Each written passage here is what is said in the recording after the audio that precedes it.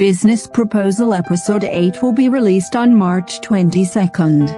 The preview of the upcoming episode suggests that Tae Moo will be in a fight with Minwoo as the latter gets to about the dating contract. Prior to release, check all about episode 8 time and preview here. Prior to airing, SBS has shared an exclusive pre-released clip and a preview of the upcoming episode. In the pre-released clip, Ha-ri and Tae Moo are finally talking about their kiss in the office.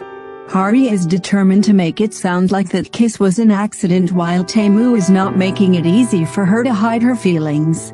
The preview of episode 8 also shows that Minwoo will discover the dating contract which will lead to a monumental misunderstanding and cause a fight between Tae Moo and the chef. Fans are eager to know which side will Ha-ri take in their fight.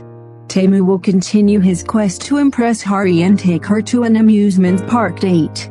Sung Hoon and Yeonsu are also having a sweet moment in episode 8 as the latter decides to cook for their date. But will Yeonsu like Sunghoon's honest comment about the cooking? Fans will get to know that in a few hours.